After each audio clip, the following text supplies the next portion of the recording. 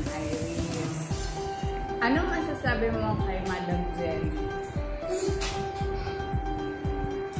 Anong masasabi mo kay Madam Jen? Si Madam Jenny ay... Oh, ha? Ganda!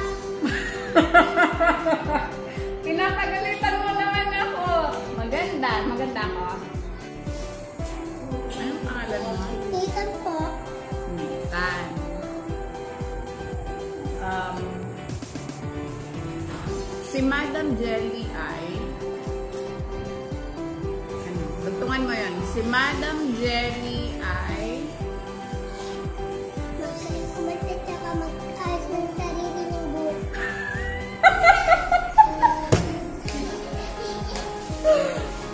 Thank you!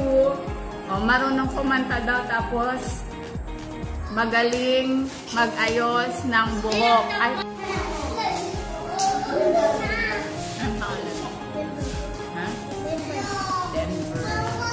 Saan kami nito. Kaya maingay. Si Madam Jelly ay... Si Madam Jelly ay... Ha? Maganda daw ako? Bakit lahat na lang kayo sinasabi niyo maganda ako? Totoo ba? Salamat. Si Madam Jelly ay maganda daw. Next. Anong natutunan mo kay Madam Jelly? Magsulat? Natuto ka magsulat. Ano ang natutunan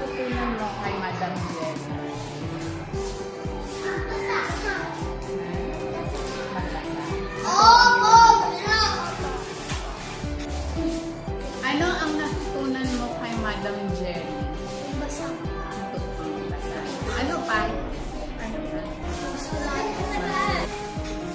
Kapag grade 2 ka na, halimbawa nag-recess ka, tapos masasalubong mo si Madam Jelly, papansinin mo pa ba siya? ha?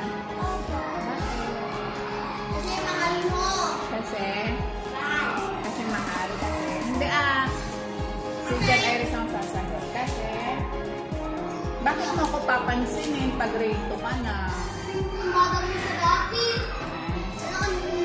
Kasi,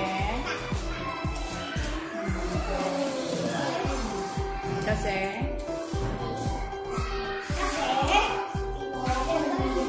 ay kasi magaling mag mo. Love mo si Madam Jelly?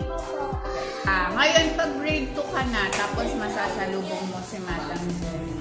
Papansinin mo pa ba siya? Bakit? Bakit? Ah, kasi tinuruan ko siya. Love mo ako. Totoo. Anong masasabi mo kay, anong masasabi mo kay Madam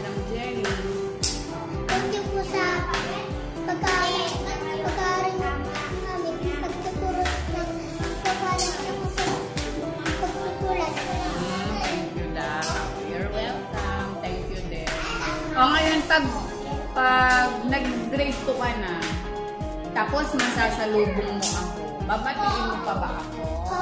Bakit? Kasi madam kita natin. Kasi madam mo ako ng buwan. So, love mo ako.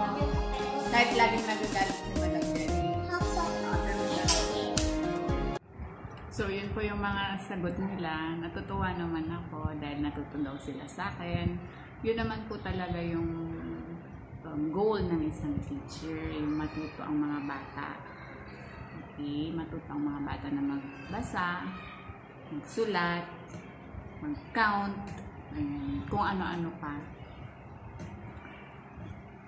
Lalong-lalo yung magbasa. So, ngayong summer vacation, sana yung mga parents dyan, i-follow up niyo po yung mga anak ninyo, turuan niyo po silang magbasa, most especially, kasi um, napaka-importante po na marunong magbasa ang isang bata.